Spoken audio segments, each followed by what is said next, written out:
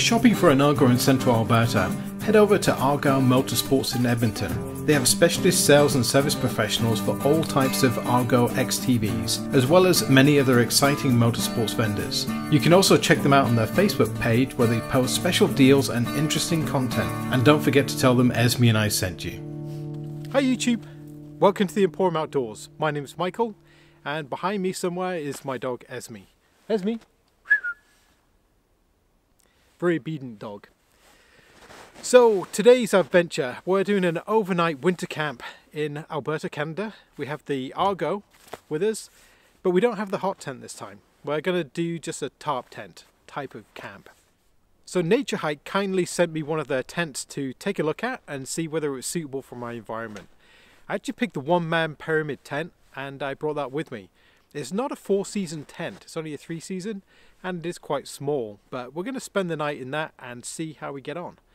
The temperature currently is about minus 5 Celsius, but when I got in my truck this morning it was minus 15. So overnight I think the temperature is probably going to be between minus 10 and minus 15. So it's going to be a relatively cold one, especially without a hot tent. So uh, we're going to have to be prepared. I'm very much looking forward to it. The weather's forecast not to snow, but you never can tell. It's actually very sunny and bright at the moment. And the forecast overnight is, again, just dry. So we're to have some amazing stars. I can feel it already. It's to be uh, a wonderful time. Thank you everyone that left comments in the 10,000 subscriber. Uh, it took me a while to read through them all, uh, but great. I think the what I took away from most of that stuff was cook better things. That was if I could sum the whole thing up. And maybe the longer format is something people are liking. I used to try and keep my videos for around kind of 10 to 15 minutes because I thought that's what people wanted, easy to digest. But I'm thinking more towards the 30 to 45 minute mark. Um, I don't want to go to the lengths of some of the other uh, YouTubers that it's like two hours plus. For me, that's way too long. I, I normally skip through most of it. I'd rather have the condensed down version, but anyway, I digress. So we have the 12 gauge shotgun with us. It's still legal currently to uh, shoot grouse. So I'm hoping for some grouse and that will fulfill the cooking part. Otherwise uh, we might be a bit light on the cooking aspect. But I did bring a, a special ingredient with me, which I'm hoping that we can uh, use in the cooking somewhere. So we're going to head out in a second and head down the trail. The snow is not deep. I actually expected it to be much deeper. It's still pretty pretty light and fluffy, uh, so which is good. But I was hoping to really give the Argo a test in some deeper snow. Uh, but this is maybe six to eight inches of snow, and the Argo just doesn't even know it's here. It just kind of drifts through it, no problems whatsoever. Uh, it's the machine is completely different in the snow. I'll tell you that much. Um, in on the dry trails, you know, it's it's good. Don't get me wrong. Um, but it it's a different machine once you get even this small amount of snow on the ground. The machine just glides along, it's a lot more comfortable, steers beautifully. Um, yeah, it's really built for this environment. I'm very, very pleased. This is one of the main reasons I bought it. Uh, so I'm, I'm very excited to take it out in the snow. And yes, I will be getting tracks. I'm just kind of waiting until the snow comes. It takes about two weeks for the tracks to to order to arriving, and they're give or take between uh, about eighteen to two thousand uh, dollars. So it's quite an expense, but they should last for several years. That's my thoughts anyway. Especially if I only use them in the snow. That's what I'm thinking. Uh, I don't plan to use them in mud or anything like that. So they'll be only used in snow. So it should be pretty light on the uh, on the equipment. Anyway, I've talked for way too long. We're going to head down the trail. Hopefully we'll come across a grouse and we'll have something for dinner tonight. If not, then we're down to probably potatoes again. So, anyway, let's get moving.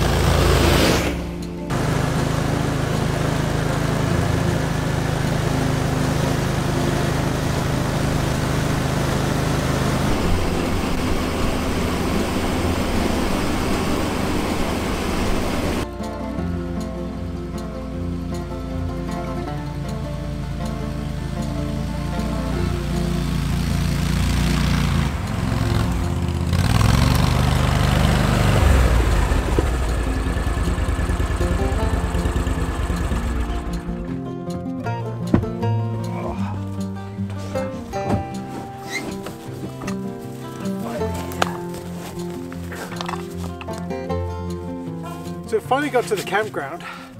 I met some snowmobile guys on the way through here and uh, I discovered the guy that actually built these uh, logs here. So that was really interesting. So the time now is just, let's see, 10 past 3 with my lovely smoke jumper watch. If you'd like to see uh, my thoughts on this watch, then I'll put a link up there so you can take a look. Fantastic watch. Um, I'm going to camp here tonight.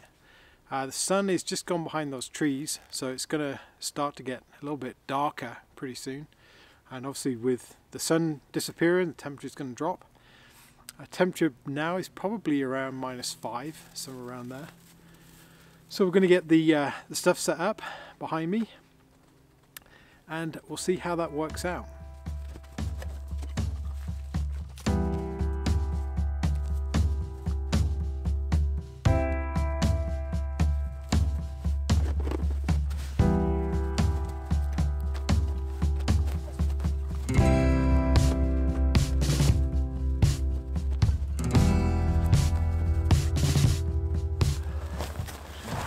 So this is the new Naturehike Pyramid single man three season tent and it's damned orange. Why? Why did they do this? anyway, that's what we have. That should fit pretty good there. I can have the fire right here and uh, I think we should pretty, pretty good. This is the footprint that comes with it. It does come with a bug inner as well but said that.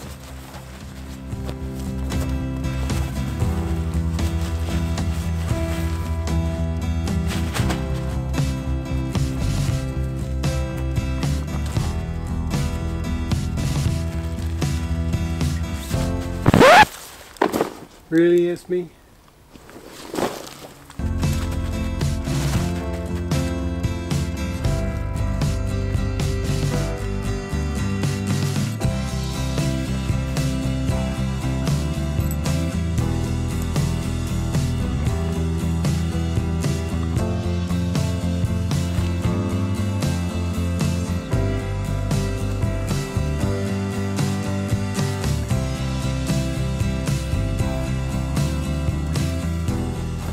Because I don't have a walking pole with me, I'm gonna have to grab something to make a pole.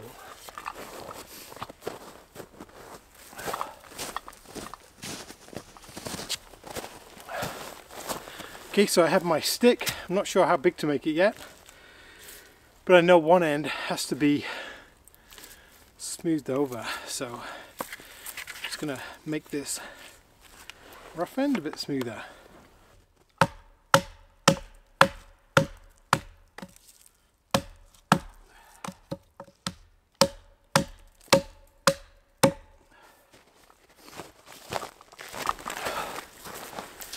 So I've just got this pole here, which I'm just going to smooth the edges over. It's not going to dig into the tent.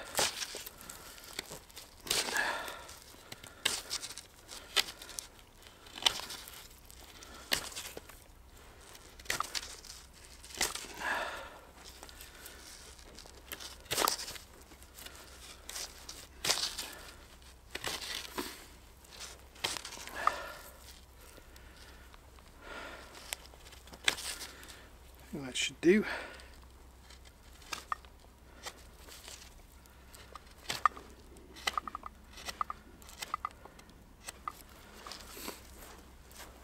Okay, so we'll get the fly up, measure the height, and then we'll cut this pole to size.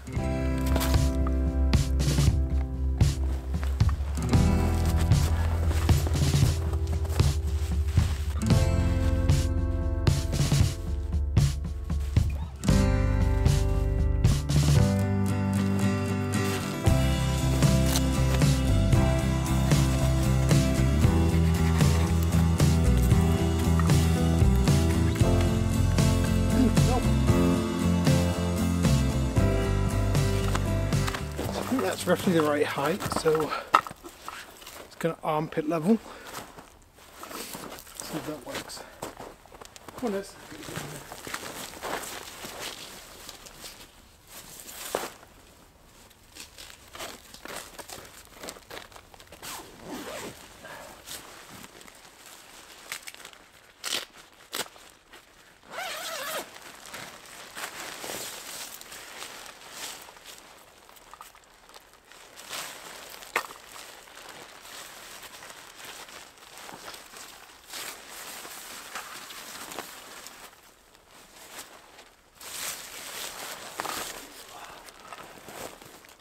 It's pretty good. That'll work.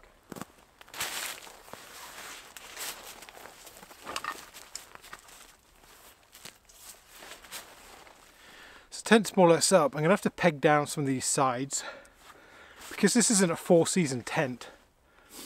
They're normally built so that the sides allow ventilation and that's kind of the last thing I want.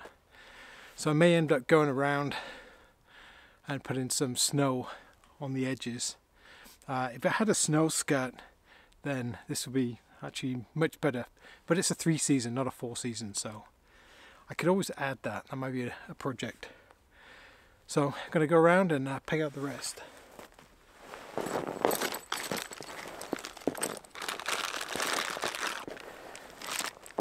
They actually give you a bundle of this stuff. I think it's more than I've ever seen for a small tent.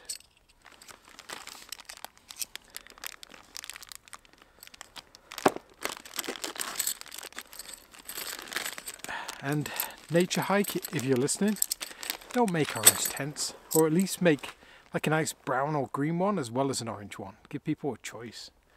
I really don't want to be in an orange tent.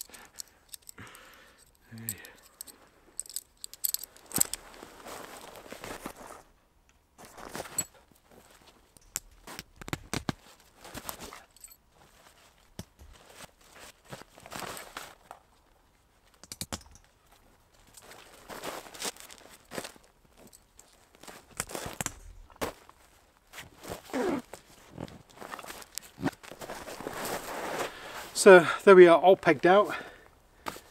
It's uh, pretty taut, which is good. There is this gap underneath, but I don't think that's going to be too much of an issue. I'll see how we go on, but I may add snow, I may not.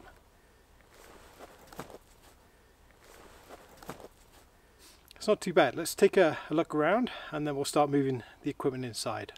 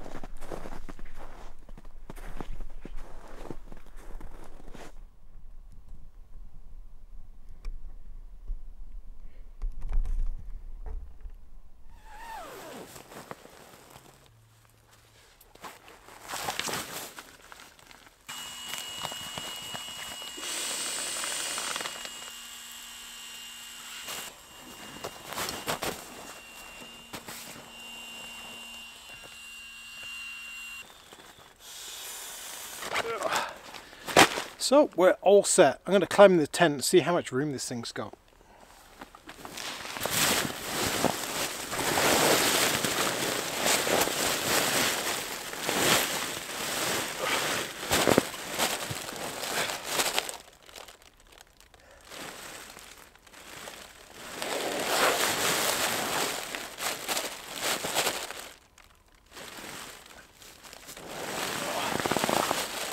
So this tent is pretty small for a human.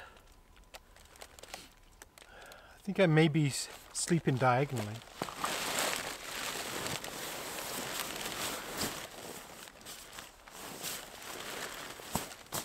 That's good. So that's all ready for Esme. We'll put the other one on as well. So she'll have the mat as well as the sleeping bag and we'll put her inside the other one as well. That should keep her nice and warm. I'll let this one loft up for a while. like that. And I have this bivy bag as well if I find I'm really cold. I just uh, toss that down the side.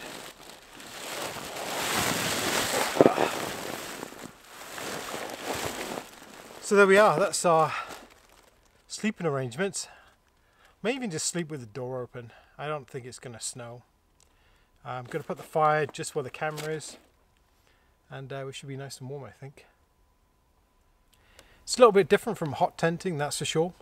So the three main types of tenting that I do or camping is I have ground tents obviously, actually four types. Ground tents, hammocks, um, the cot tents and the hot tents. They're my main four types of camping. I do some tarp camping occasionally as well. And this is almost the same as tarp camping, I guess. It's a pre-formed tarp. I don't have to mess around with it. Very quick and easy. But uh, I think that the most convenient, what I could have taken today, which would have made more sense, but I just, yeah, I've done quite a few videos on the cot tent, is to have the cot tent. I would have been up and done and all fixed up by now. Literally just takes a few minutes to put up especially with the cold ground to elevate off that makes a huge difference. Uh, but this is different, I want to try this out. Um, I'm actually quite impressed with the quality of the tent. Uh, it's very light, it's well made, I can tell that much. It is a little small, um, and I'm not a big person, I'm only 5'9". So, um, yeah, I think the, the inner actually you ha have to lie diagonally across it, so I'll try that out in a little while, but I think for now, uh, this is pretty good. This mat is excellent. I can feel already, I'm just sat on it, it's, it's, my butt's getting warm, so that's pretty good. Uh, oh, that's my knot things. useful. So anyway, I'm good to uh, set up a few more things and make sure Esme's comfortable. I think it's time for her supper. So we'll feed Esme and get to doing the camp chores.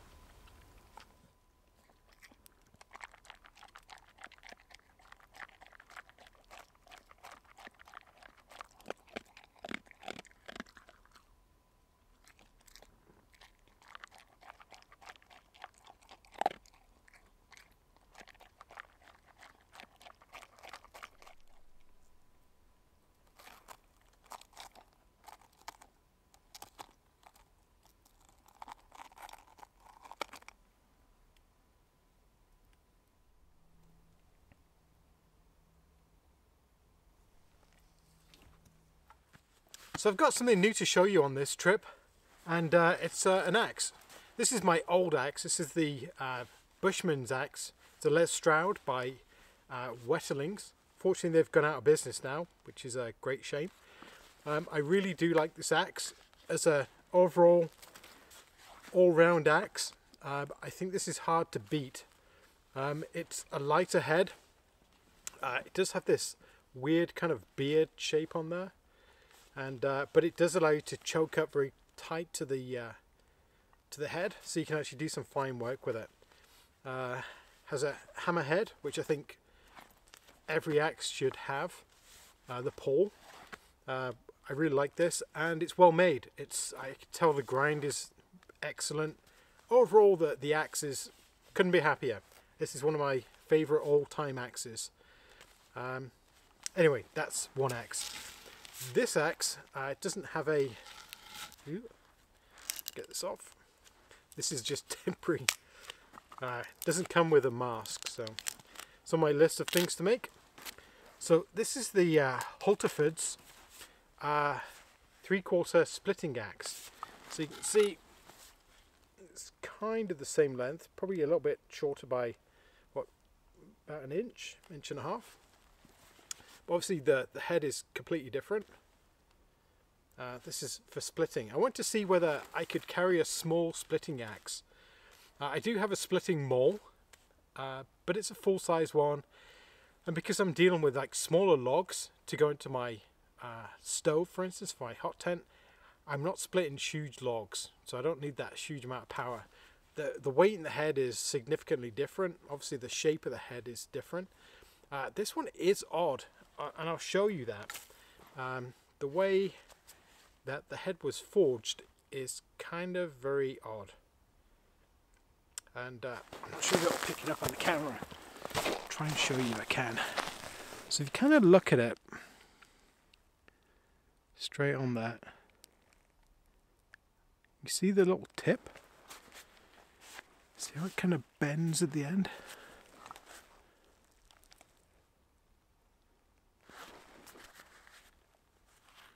It's hard to see. Like when you look at the whole thing overall, kind of looks about right. But then when you look at it properly, like this massive, like it's lent over here. But in profile, when you look at it, let's see if I can get this right. Profile kind of looks right. It's just kind of funky. Um, if this was not a split axe, I think I'd be a little bit kind of upset about that shape. So this is something to bear in mind. With a hand forged head, they're not all going to be exactly the same, and that's kind of what you pay for. Uh, this is kind of odd, like I say. I don't think it's going to be a problem. I could probably fix it. I, I think it's more unique. Uh, I haven't used it yet, so maybe I'm premature. I'm not sure. So I'm going to do some splitting with both axes and just see if there's a significant difference. Uh, one thing you can obviously see is a cutting edge is different. One's straight, one's curved, one's larger, one's more narrow. So with the heavier head and the narrower uh, cutting edge of the axe, this should split much easier. That's what I would think. That's just general physics. Let's give it a go. Not sure how you compare them because every piece of wood's going to be different. So you know what? I'm going to take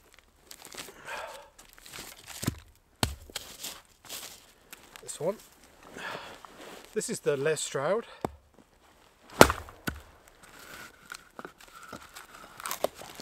That's a pretty good job.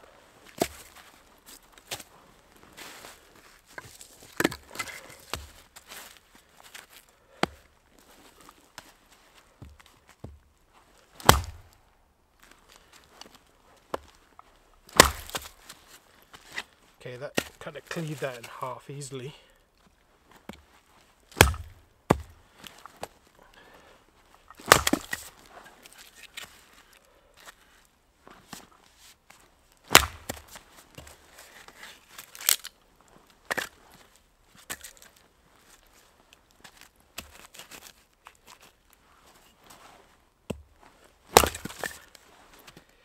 I don't know.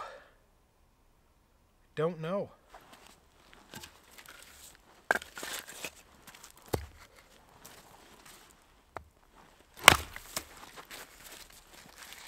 Actually struck the ground there, which is not a good thing.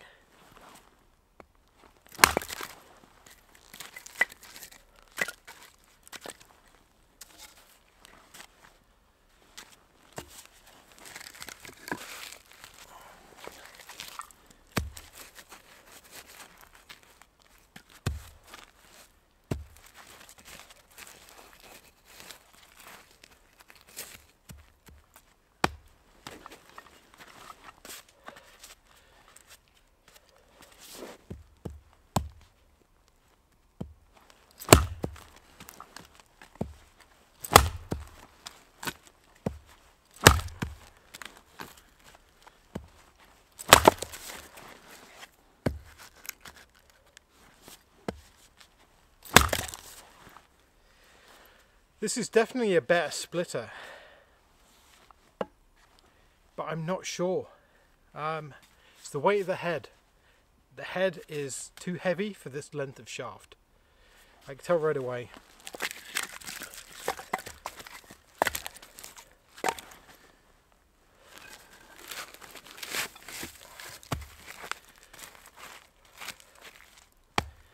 What I mean by that is when I swing this, I'm going for high velocity and then I'm trying to stop before I hit the ground.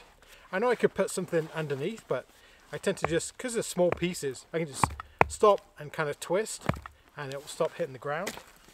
With this one, because it's much heavier and the shaft is quite short, it's it's a lot of effort to stop the whole thing from going through. So maybe I need to just chop with a, uh, a block underneath or on a stump. This would be fine, but it's not as comfortable, it's not as controllable. Even though it didn't go through, that actually split the whole log. Like that is literally all the way through. Let's turn it.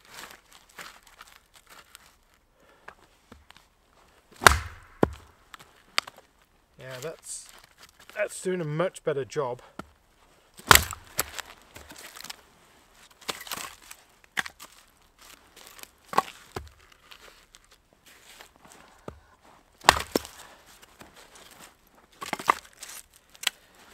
Yeah, I, I would definitely say this is this obviously is a better splitting axe. Obviously. It's already split. You know what, let's try and split smaller piece. Another one.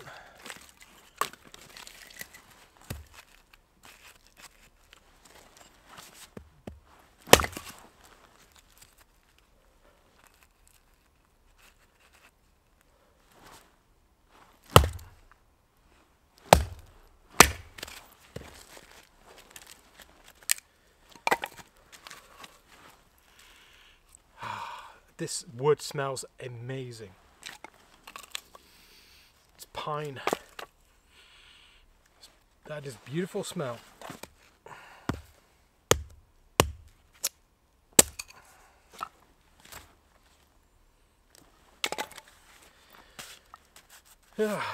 so, that's the Hultafors three quarter or medium size splitting axe.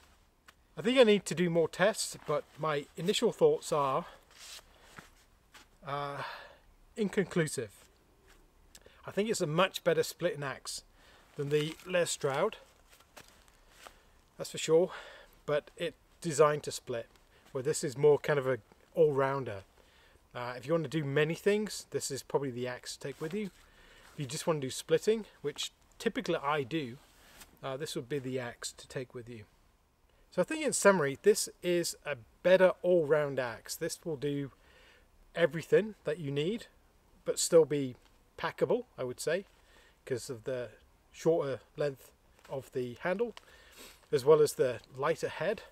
Uh, this is still packable, but you're not going to be doing specific like carving work or uh, anything fancy with this. This is going to be just to uh, you know beat pegs into the ground. Still has this nice flat poll and to do splitting, which is typically what I do.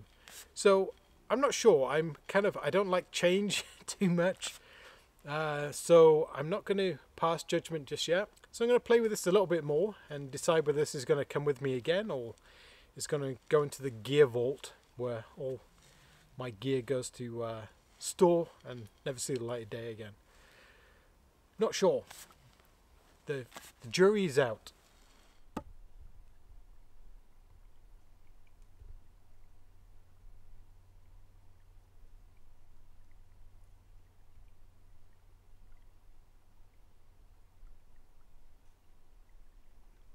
Okay, so we're losing the light pretty quick now, so probably isn't showing camera very well. Time to build the fire. So let's get started.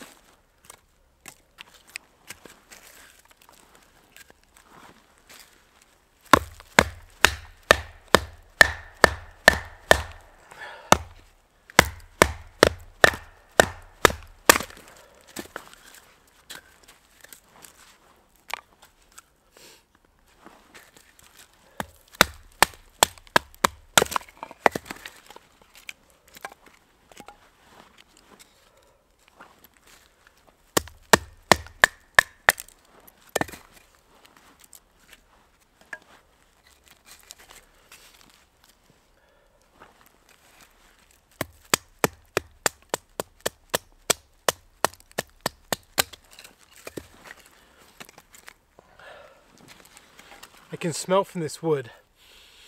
It's very resiny. So I don't think we'll have any problems starting it. So I'm just going to grab some tinder from behind me.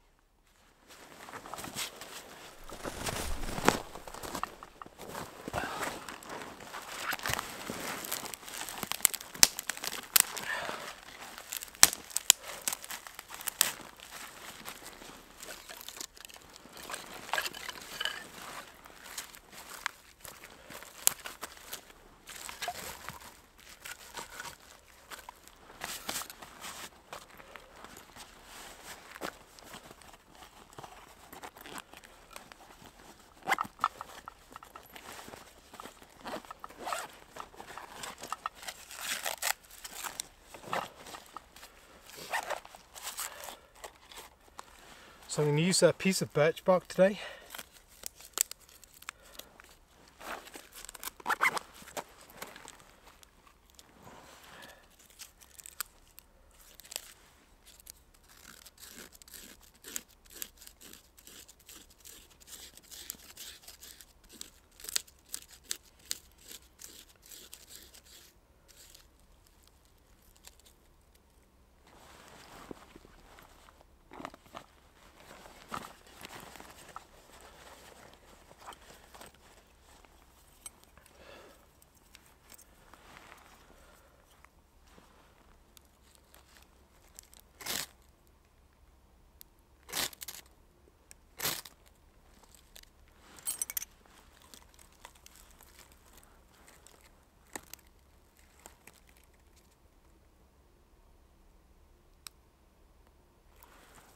Nope. I nudged the uh,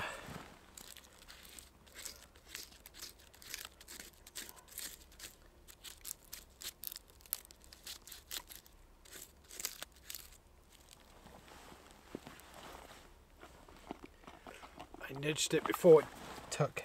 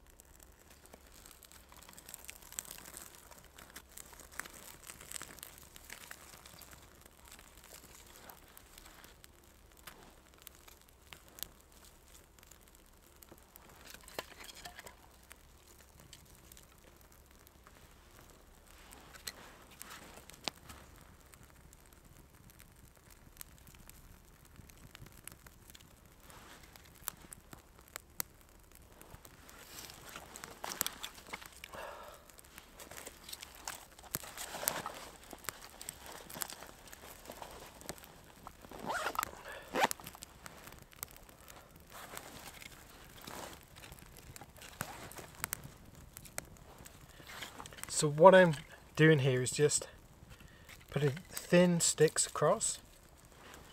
I'm going to put slightly thicker ones across the top.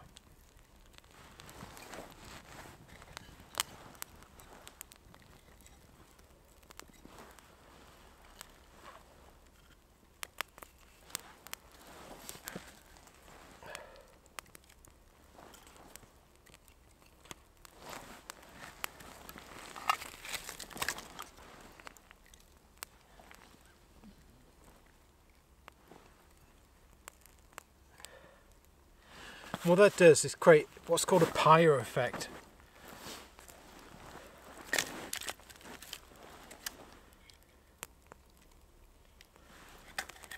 Maximizes the amount of airflow through the wood and concentrates the heat.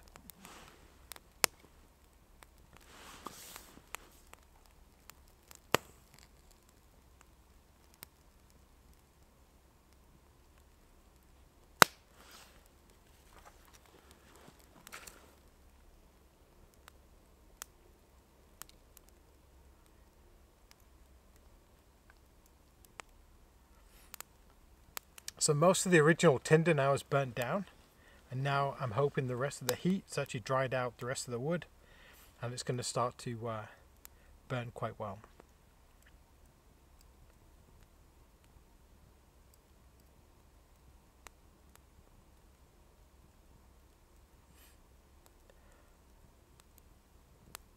And with these outer log supports, the whole thing will collapse in and it will generate a lot of heat from the bottom up. There we go, it's starting to go now. So everyone makes their fires differently. Uh, this is the way I find works uh, really well, uh, especially in winter.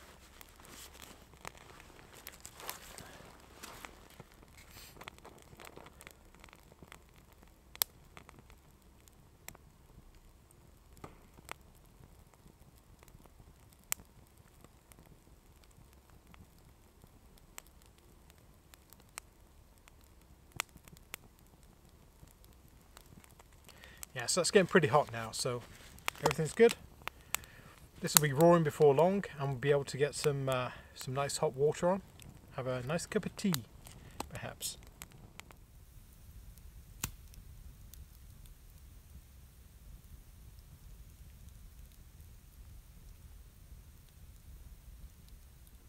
So we just sat by the fire and uh, listened to some podcasts, which is really relaxing. Love that and I just saw a little dot just pass across the sky, very bright dot, probably a satellite or something else, and it was super bright. So I have high expectations for the stars tonight. I think it's going to be probably one of the best nights that I've seen for a long time. It's going to be quite amazing, I think. Very excited for that. So the temperature is down to about minus 8. Um, it's going to continue to drop, obviously, over the night time but we're both pretty comfortable. I'm sat in this kind of rubberized mat thing that I normally bring with me and half the sleeping bag. So Esme is sat over in the tent and she's on her half the sleeping bag and she's on a mat as well and uh, she's pretty warm but she's crashed out. She did quite a bit of running today and uh, I think she's uh, looking forward to relaxing. Yeah, she's pretty much out of it right now. But I'll make sure she's tucked up inside a sleeping bag, both of them, and kept nice and warm. But with her big fur, um, she doesn't feel the cold the same way as we do. So I'm going to continue to relax by the fire. Uh, this is such a great experience. I wish um, I could kind of transport all my viewers to where I am right now and just experience this. It's just something special. So one other thing, we're going to be heading down to the Frostbite Symposium, which is an outdoor winter camping event in Red Deer, Alberta on the 4th and 6th of January. So Esme and I will be there in the Snowtrekker tent and we're going to have a great time. There's lots of things to learn. I've signed up for a few courses and I'm very excited about going there. So let me know if you're going along to the event because I'd love to say hi and obviously you can meet Esme. Anyway, I'm going to keep the fire going for a little while, but I'm going to start winding down and we're going to head into the sleeping bags pretty soon.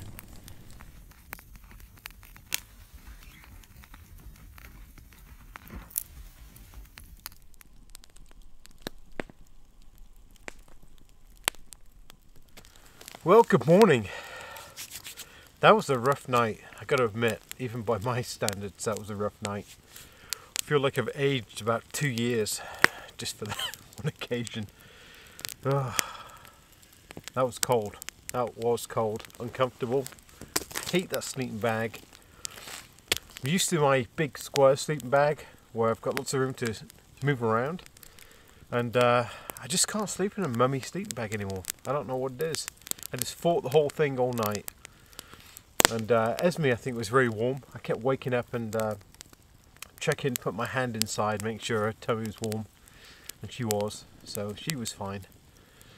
I think I got the uh, the wrong end of the stick with that deal, that's for sure. Should took the uh, Canadian one, give her the nice plush MEC one. But we are where we are. Uh, just got the fire going, got some water boiling, and uh, need a nice cup of coffee. Uh, let's see where we are with the temperatures. Uh, oh, so the current temperature is uh, minus 16, right there.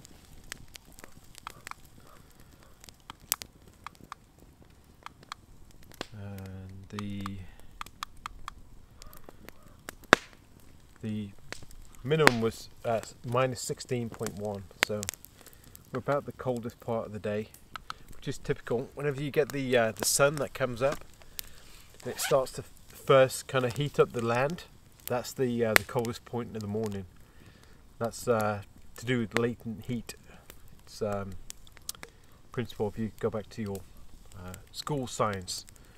So you always get the coldest part of the morning when uh, the sun comes out so let's talk about the tent. The quality is excellent. The stuff you get with it is excellent. Everything's great about the tent, but it's too small for people. Um, unless you're kind of under five feet, I think you're going to struggle with this tent. Even a standard size steep mat won't fit inside. Um, mine kind of sticks out the end, kind of. So even if you slept diagonally across the uh, the kind of square shape, I guess pyramid, I think you'd struggle. Unless you're a really short person or maybe you want to buy it for your children, uh, this would be a great tent to camp out in. Uh, but if you're a normal sized person, then you're going to really struggle with this tent. So that's kind of my summary on the whole thing. Sorry about that, but I love Naturehike stuff, but this is probably not something I would buy. Gotta be honest.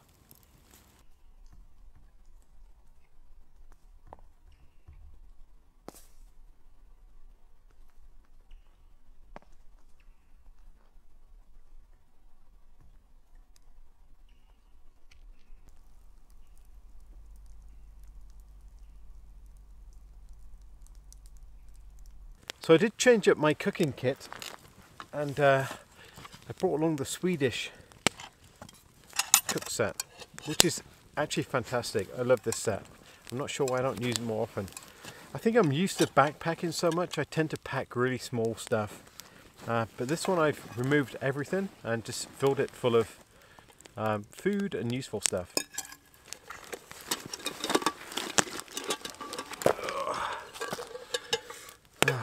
So I'm actually going to transfer the water across to this one. One thing you got to be careful with if your hands are cold, you can't feel heat. So I just want to make sure I burn myself.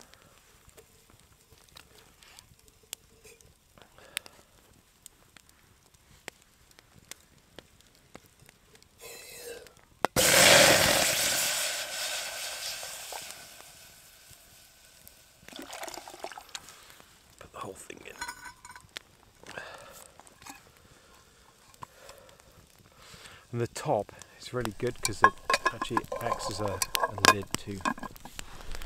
And you can cook two things on it.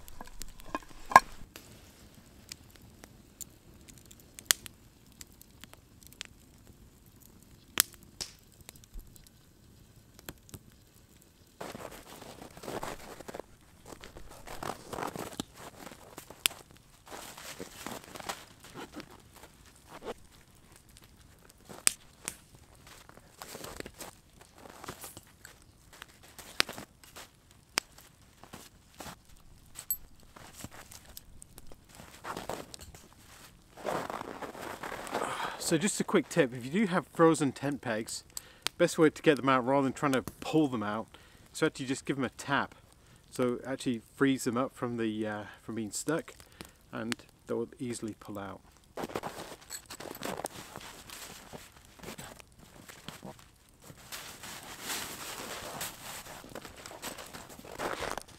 One of the tip I've learned over the years as well is not to bother packing your stuff again after you've used it unless you're going on to a multi-day backpacking trip it's just not worth the effort. You're gonna have to unroll things like your tent and your sleeping mats anyway when you get home.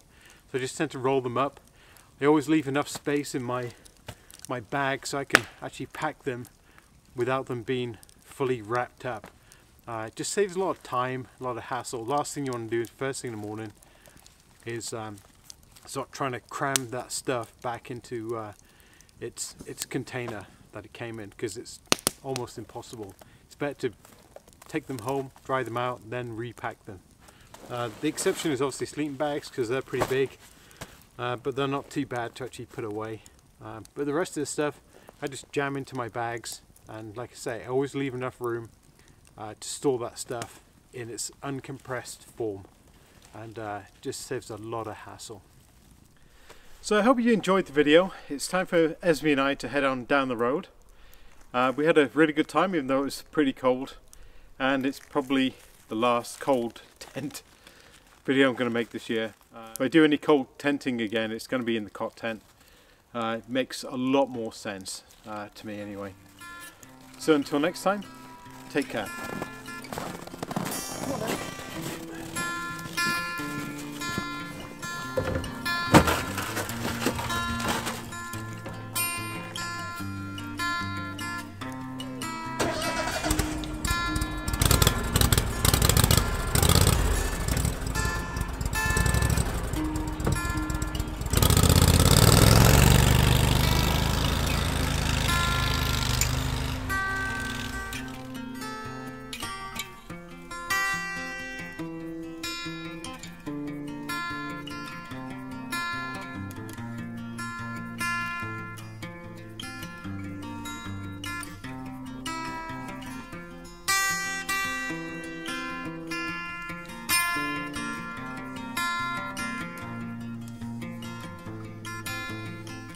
And as always, thank you very much for watching. If you like my videos, leave me a comment, maybe a thumbs up, and don't forget to subscribe.